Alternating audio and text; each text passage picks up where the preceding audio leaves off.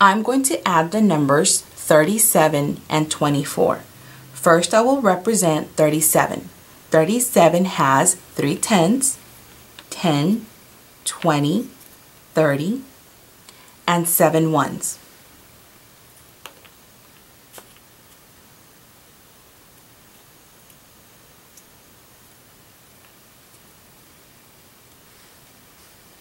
Now I will add 24.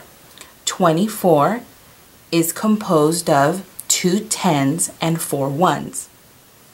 Here is one ten, two tens, four ones.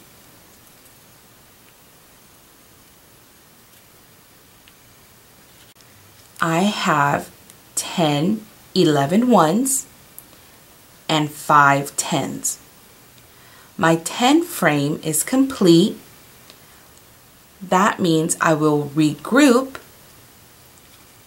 and exchange my 10 ones for one 10.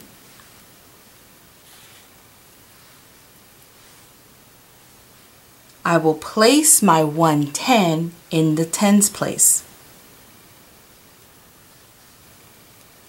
Seven ones plus four ones was 11 ones, but I regrouped and moved my 10 to my tens place and I had one one in my ones place.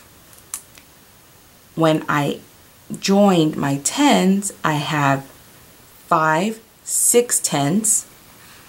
My answer is 61.